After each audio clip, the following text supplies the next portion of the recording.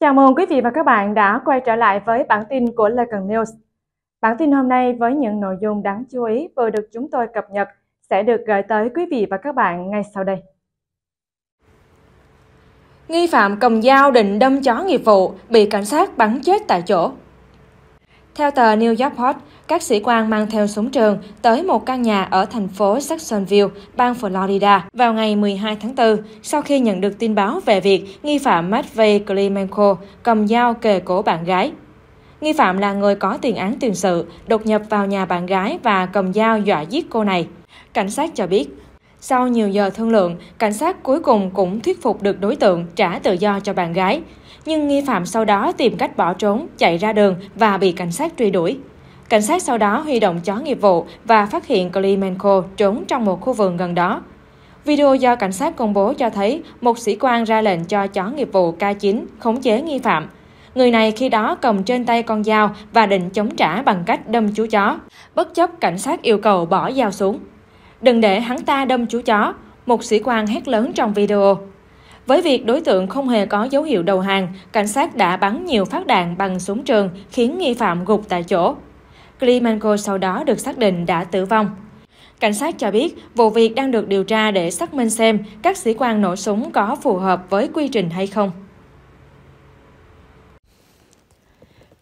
Camera ghi lại cảnh người lạ phóng hỏa vào nhà dân ở thành phố Thủ Đức. Ngày 28 tháng 4, Công an thành phố Thủ Đức đã phối hợp cùng Công an phường Phước Long B tiếp nhận thông tin và truy xét kẻ châm lửa rồi ném vào sân nhà một người dân trên địa bàn. Theo hình ảnh camera ghi lại, vào khoảng 5 giờ sáng cùng ngày, một người làm mặt đi xe máy dừng trước cổng một căn nhà tại đường 79, phường Phước Long B. Sau đó người này châm lửa và thò tay qua hàng rào, ném vào sân nhà. Ngọn lửa sau đó bùng phát nhỏ và khoảng 10 phút sau thì cháy to lan sang chiếc xe đạp. Riêng người phóng hỏa đã nhanh chóng tẩu thoát. Qua hình ảnh camera cũng cho thấy khu vực phóng hỏa có nhiều đồ đạc nhưng rất may người dân đi tập thể dục phát hiện kịp thời, đập cửa gọi chủ nhà thức dậy. Ngọn lửa sau đó được dập tắt, không gây thương vong về người. Thời điểm xảy ra sự việc, trong nhà có 6 người đang ngủ say. Theo nguồn tin, đến chiều cùng ngày, các đơn vị nghiệp vụ Công an thành phố Thủ Đức và Công an phường Phước Long B vẫn đang làm việc với chủ nhà để tìm hiểu nguyên nhân. Bước đầu chủ nhà đã giao nộp camera an ninh ghi lại sự việc cho công an và các chiến sĩ đang tích cực truy xét. Nữ tài xế có màn dắt xe chen chúc vào giữa ô tô và cái kết khiến cộng đồng mạng cười ngất. Sự việc được camera an ninh ghi lại khiến ai xem xong cũng phải cười lăn lộn. Theo đó, trong màn hình lúc này là một người phụ nữ ăn mặc lịch sự dắt chiếc xe tay ga của mình ra khỏi nhà. Và khi thấy có ô tô con 7 chỗ đang đậu chắn trước sân thì chị gái liền làm ra chuyện khiến ai nấy cũng ngỡ ngàng. Đó là dắt xe đi luồn vào giữa ô tô và cửa nhà. Đến đây cư dân mạng đồng loạt hiện ra dấu hỏi lớn trong đầu, thắc mắc tại sao bên phía đường còn lại thì rộng thênh thang mà người phụ nữ lại không chịu đi, lại cứ phải đâm đầu vào cái đường hẹp làm gì. Càng gây choáng và buồn cười hơn là khi dắt xe đến đoạn hẹp nhất và không chịu chui qua được thì chị gái thất vọng lùi xe lại và gọi người nhà ra giúp đỡ. Hiển nhiên, chị gái này đã hoàn toàn bơ đẹp con đường bên cạnh Đoạn clip sau khi đăng tải đã thu hút rất nhiều lượt tương tác. Trong đó, không ít bình luận hài hước như Rồi cái linh mạng than cuộc sống của tôi thật khó khăn. Khi bạn thấy cuộc sống của bạn quá bình yên nên muốn nêm cho nó một chút khó khăn. Xem hoài mà vẫn cười như điên. Thăm hỏi gia đình thiếu tá công an hy sinh khi tuần tra Ngày 28 tháng 4, Công an tỉnh Cà Mau và Ủy ban Nhân dân huyện Cái Nước đã thành lập đoàn thăm hỏi, động viên gia đình thiếu tá Nguyễn Chí Nguyệt, Phó trưởng Công an xã Đồng Thới. Theo lãnh đạo Công an xã Đồng Thới, thiếu tá Nguyễn Chí Nguyện trước đây công tác tại thành phố Cà Mau, sau đó được điều động về công tác tại xã Đồng Thới, huyện Cái Nước. Thiếu tá Nguyện hy sinh trong lúc làm nhiệm vụ tuần tra giao thông đường thủy, để lại con trai mới 12 tuổi. Dự kiến gia đình sẽ tổ chức an táng cho thiếu tá Nguyện vào ngày 1 tháng 5. Như đã đưa tin, tối ngày 26 tháng 4, Thiếu tá Nguyện cùng Trung úy Đỗ Hoàng Quyết tuần tra kiểm soát giao thông đường thủy bằng vỏ lãi trên sông 7H, phương tiện không may bị chìm khiến Thiếu tá Nguyện mất tích, còn Trung úy Quyết may mắn được người dân ứng cứu kịp thời. Đến khoảng 17 giờ ngày 27 tháng 4, thi thể Thiếu tá Nguyện được tìm thấy cách hiện trường tai nạn hơn 200 mét 92 người tố cáo tới công an vì bị sập bẫy trái phiếu bán tại SCB với gần 160 tỷ đồng. Vào trưa nay ngày 28 tháng 4, Văn phòng cơ quan cảnh sát điều tra Công an thành phố Hồ Chí Minh chính thức nhận đơn tập thể của 92 cá nhân kèm các tài liệu liên quan tố cáo Ngân hàng Thương mại Cổ phần Sài Gòn SCB đã có hành vi chiếm đoạt số tiền tổng cộng gần 160 tỷ đồng theo đơn tố cáo, người dân cho biết đã bị nhân viên ở ngân hàng SCB tư vấn mập mờ, khiến họ hiểu nhầm rằng đang tham gia hình thức gửi tiết kiệm mới, được linh hoạt rút tiền và nhận lãi suất cao hơn gửi thông thường, nhưng thực chất là mua trái phiếu. Người dân không được cung cấp thông tin về doanh nghiệp phát hành trái phiếu, không được lựa chọn mã trái phiếu mà do phía ngân hàng mặc định. Đến nay họ không rút được tiền lãi và gốc như được cam kết. Đứng trước cơ quan công an, chị Phạm Thị Bình, 56 tuổi, bán nước mía, huyện Củ Chi, vừa khóc nức nở, vừa uất đức cho biết do con trai làm ăn thất bại nên vào đầu năm 2022, chị đã bán nhà để chuẩn bị tiền trả nợ cho con. Trong lúc chờ con trở về nhà để trả nợ, chị mang gần 1,3 tỷ đồng tới gửi ở ngân hàng SCB. Tuy nhiên, chị đã bị nhân viên ngân hàng tư vấn tham gia vào hình thức gửi tiết kiệm mới. Khi cần tiền có thể rút linh hoạt mà không bị mất lãi như gửi tiết kiệm có kỳ hạn thông thường, chứ không nói đang mua trái phiếu của công ty cổ phần tập đoàn đầu tư An Đông và công ty cổ phần đầu tư Quang Thuận có thể bị rủi ro.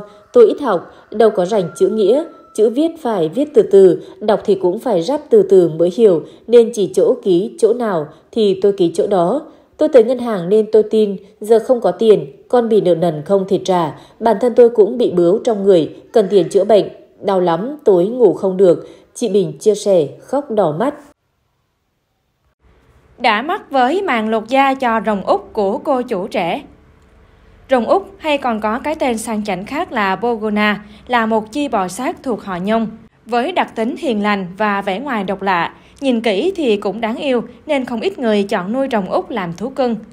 Và trên mạng xã hội mới đây, một cô gái người nước ngoài đã quay lại quá trình tự lột da cho chú rồng út với những chiếc vảy nhọn trên nước da trắng muốt, trông có vẻ dữ dằn nhưng thực chất lại chẳng làm hại ai mà cô nàng đang sở hữu.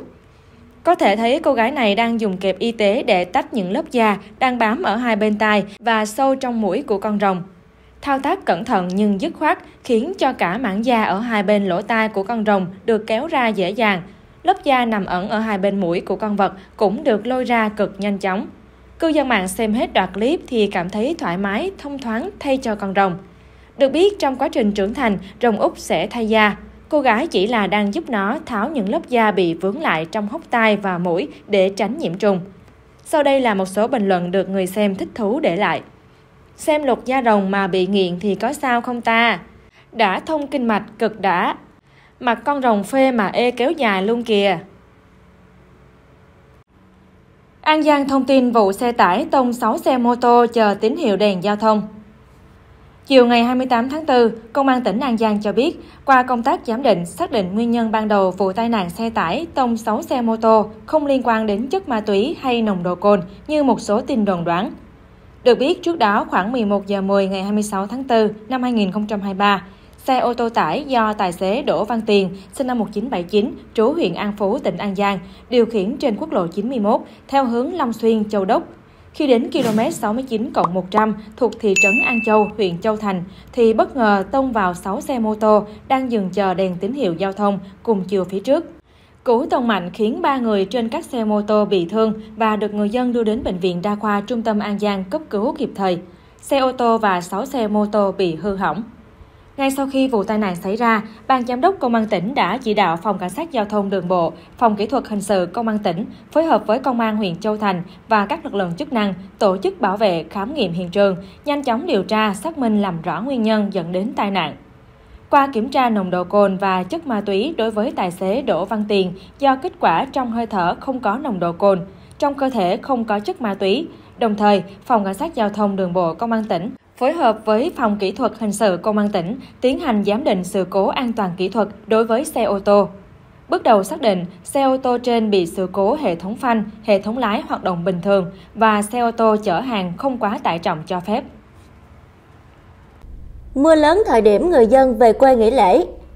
Theo dự báo, trong những giờ tới, mây dông tiếp tục phát triển, gây mưa rào, có nơi kèm theo dông và xét tại nhiều khu vực của Hồ Chí Minh. Đây cũng là giờ tan tầm, người dân bắt đầu rời Hồ Chí Minh để về quê nghỉ lễ. Lúc 15 giờ 40 phút chiều 28 tháng 4, Đại khí tượng Thủy văn khu vực Nam Bộ phát đi bản tin cảnh báo dông tố, lốc xét, mưa đá và mưa lớn cục bộ trên khu vực Hồ Chí Minh. Đơn vị này cho biết theo dõi trên ảnh mây vệ tinh, ảnh radar thời tiết và định vị xét cho thấy mây dông đang phát triển trên khu vực huyện Hóc Môn, Củ Chi, phía bắc huyện Bình Chánh của thành phố Hồ Chí Minh và gây mưa rào. Đại khí tượng thủy văn khu vực Nam Bộ cảnh báo trong khoảng 3 giờ tới, mây dông tiếp tục phát triển gây mưa rào, có nơi kèm theo dông và rét cho các khu vực huyện Hóc Môn, Củ Chi, Bình Chánh. Đồng thời mây dông còn có khả năng mở rộng và lan sang các quận huyện lân cận khác của thành phố như quận 12, thành phố Thủ Đức. Lượng mưa được dự báo sẽ phổ biến từ 5 đến 20 mm, có nơi trên 20 mm. Trong cơn dông đề phòng xét và gió giật mạnh khoảng cấp 5-6, 9 đến 13 m trên giây, Đại khí tượng thủy văn khu vực Nam Bộ cảnh báo. Phẫu thuật lấy viên sỏi bàng quang kích thước khổng lồ Thông tin từ Bệnh viện Đa khoa Thống nhất Đồng Nai, đơn vị này vừa phẫu thuật thành công lấy sỏi bàng quang kích thước khủng cho cụ ông 69 tuổi. Bệnh nhân là ông D, trú tại thành phố Biên Hòa, nhập viện trong tình trạng tiểu khó, tiểu máu, đau hạ vị, cơ thể suy kiệt. Sau khi thăm khám, phát hiện người bệnh có viên sỏi bàng quang kích thước lớn, sỏi túi mật, sỏi tụy, nang thận hai bên, tăng sinh tuyến tiền liệt, viêm dạ dày, sơ phổi phải. Bệnh nhân được chỉ định phẫu thuật để lấy sỏi. Quá trình phẫu thuật, ekip mổ lấy được từ trong bảng quang của bệnh nhân viên sỏi khổng lồ kích thước 6 cm. Đến nay sức khỏe của bệnh nhân ổn định, dự kiến có thể xuất viện trong 5 ngày. Bác sĩ chuyên khoa 1 Vũ Thanh Tùng, khoa ngoại niệu, khuyến cáo hiện nay tình trạng người mắc các bệnh lý về sỏi bàng quang ngày càng nhiều. Một trong những nguyên nhân gây ra tình trạng này là thói quen nhịn tiểu, uống ít nước. Do đó người dân cần chú ý đến sức khỏe bản thân, sớm phát hiện ra những bất thường để thăm khám và điều trị kịp thời. Hàng nghìn người đổ về đền Hùng trước ngày chính lễ 10 tháng 3. Ngày 28 tháng 4, tức mùng 9 tháng 3 âm lịch, hàng nghìn người từ khắp nơi đã đổ về khu di tích lịch sử đền Hùng, Phú Thọ để dân hương từ sớm. Nhiều du khách trong và ngoài nước mướt mồ hôi khi leo lên núi Nghĩa Lĩnh. Ghi nhận sáng cùng ngày, trước ngày chính lễ một ngày, nhưng hàng nghìn người đã đổ về khu di tích lịch sử đền Hùng, Phú Thọ, dân hương tham quan, tưởng nhớ các vua hùng. Ông Lê Trường Giang, Giám đốc khu di tích lịch sử Đền Hùng cho biết, Dỗ tổ 2023 dự kiến có khoảng 8 triệu du khách về Đền Hùng, gấp 8 lần năm 2022.